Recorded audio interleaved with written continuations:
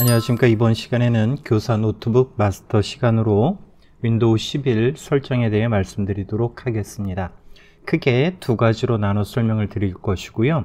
첫 번째는 윈도우 11 설정이 되겠고요. 두 번째는 기본 설치 프로그램에 대해 말씀드리도록 하겠습니다. 제 컴퓨터는 오래된 컴퓨터이기 때문에 윈도우 11 업그레이드가 되지 않았는데 최근 Rufus라는 프로그램을 통해 윈도우 11로 업그레이드 하였습니다. 자 그럼 첫 번째 컴퓨터 이름 변경이 되겠습니다.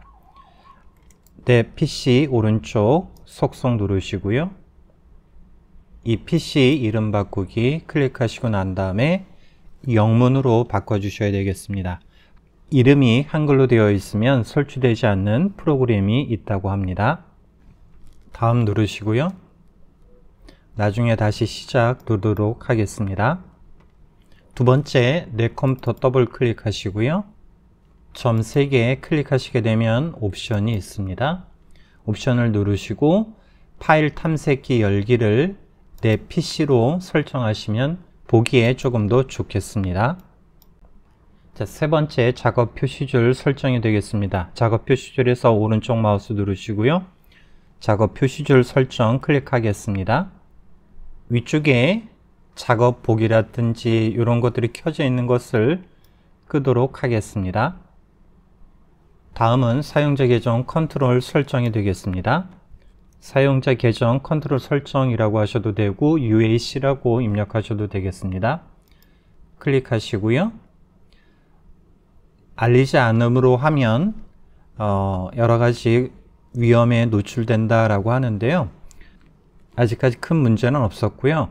알리지 않는 것이 부담이 되신다면 한 단계 위쪽에 설정하시면 되겠습니다. 확인 누르시고요. 자, 다음은 제어판으로 가시고요. 제어판에서 전원 옵션 들어가도록 하겠습니다. 전원이라고 치시면 전원 옵션이 나오게 되는데요. 노트북인 경우엔 균형 조정으로 권장 설정을 해주는 것이 좋지만 데스크탑인 경우에는 그럴 염려가 없기 때문에 고성능에 체크하시면 되겠습니다. 다음은 제어판에서 키보드라고 입력을 하시고요. 키보드 클릭하겠습니다. 재입력 시간이 보통 이 정도로 되어 있는데요. 입력 시간을 짧게로 하고서 확인 누르도록 하겠습니다. 다음은 마우스라고 입력을 하시고요. 클릭하시면 위쪽에 세 번째 포인터 옵션이 있는데 포인트 정확도 향상을 체크 해제하겠습니다. 어, 체크가 되어 있으면 가속도가 붙기 때문에 빠르긴 하지만 컨트롤이 조금 어려운 단점이 있습니다. 그래서 체크 해제를 하시고 확인을 누르도록 하겠습니다. 자 그리고 마지막 설정이 되겠습니다. 바탕화면에서 오른쪽 누르시고요. 개인 설정을 누르시면 어, 테마가 나오는데요. 두 번째 색을 눌러서 모드 선택을 다크로 설정해 주시겠습니다. 그러면 보시는 것처럼 어두운 색으로 표시가 되기 때문에 조금 더 선명하게 눈에 필요 없이 볼 수 있겠습니다. 이어서 기본 설치 프로그램에 대해 말씀드리도록 하겠습니다. 모든 설명에 해당되는 건 더보기에 설명과 링크를 걸어두도록 하겠습니다. 첫 번째는 크롬 설치가 되겠습니다. 제 컴퓨터에는 설치가 되어 있는데요. 크롬으로 검색을 하셔서 크롬 브라우저를 다운로드 하시면 되겠습니다. 다운로드 하셨다면 기본 프로그램으로 설정하는 것도 어, 권장 드리겠습니다. 두 번째로 설치하실 프로그램은 반디집이 되겠습니다. 더보기에 링크를 걸어 두도록 하겠습니다. 앞쪽 프로그램이 되겠는데요. R집보다 훨씬 편하게 사용할 수 있으니 R집 사용하지 마시고 반디집을 사용하시면 될 것 같습니다. 다음으로 설치할 프로그램은 팝플레이어 64비트가 되겠습니다. 역시 링크를 걸어 두도록 하겠고요. 저는 미리 다운을 받았는데요. 팝플레이어 설치를 해보도록 하겠습니다.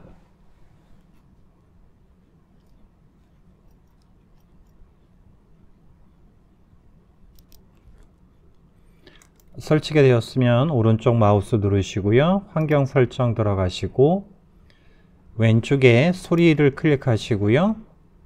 normalizer 잔향을 클릭하시고 재생 시 normalizer 사용을 체크하도록 하겠습니다. 다음으로 설치할 프로그램은 Everything이 되겠는데요. 파일을 검색하는 프로그램인데 내 컴퓨터나 탐색기에서 검색하는 것보다 훨씬 더 빠르게 파일을 검색할 수 있습니다.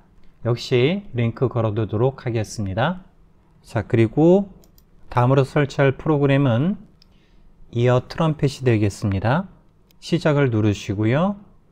스토어를 들어가시고 검색에서 EarTrumpet이라고 하시면 두 가지가 나오는데 아래쪽 걸 선택하시고요. 다운로드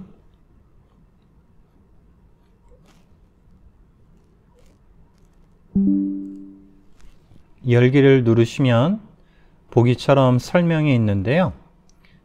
직접 보여드리도록 하겠습니다. 숨겨진 아이콘 표시를 클릭하시고 난 다음에 소리 볼륨을 이렇게 아래쪽으로 내리시면 되겠습니다. 윈도우 11에서 제공하는 볼륨을 누르시면 보기처럼 조금 불편한데요. Trumpet에서 제공하는 볼륨을 보면 윈도우 10처럼 직관적이고 편하게 소리를 조절할 수 있겠습니다. 마지막으로 Tweaker라고 하는 프로그램이 있는데요. 역시 링크를 걸어두도록 하겠고요. 저는 이미 다운받았기 때문에 실행해 보도록 하겠습니다. 위쪽에 있는 것은 어, 설치를 하지 않고 직접 실행시키는 프로그램인데요. 추가 정보 누르시고 실행을 누르도록 하겠습니다. 보통 바탕화면에 어떤 파일이 생성이 되고 그 생성된 파일을 통해서 설정할 수 있는데 바탕화면에 파일이 생성되지 않는 경우엔 프로그램을 실행하도록 하겠습니다. 실행을 누르시고요. 압축을 푸시고 실행하셔도 상관은 없습니다. 다음 normal mode 다음 동의 다음 설치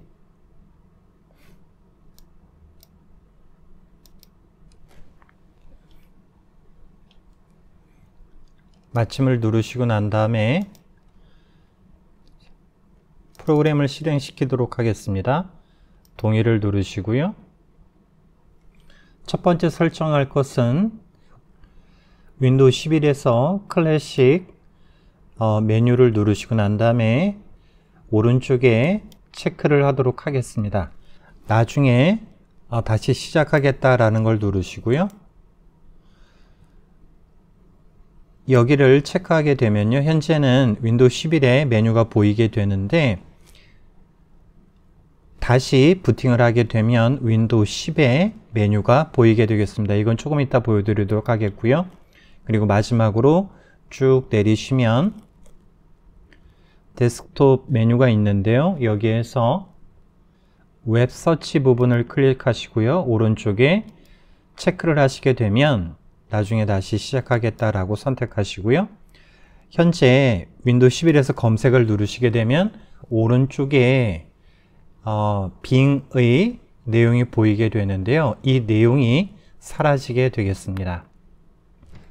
로그아웃을 하고 다시 한번 로그인을 해보도록 하겠습니다. 로그아웃하고 다시 로그인을 하였습니다. 자 그러면 조금 전에 Tweaker에서 설치한 프로그램 설정을 확인해 보도록 하겠습니다.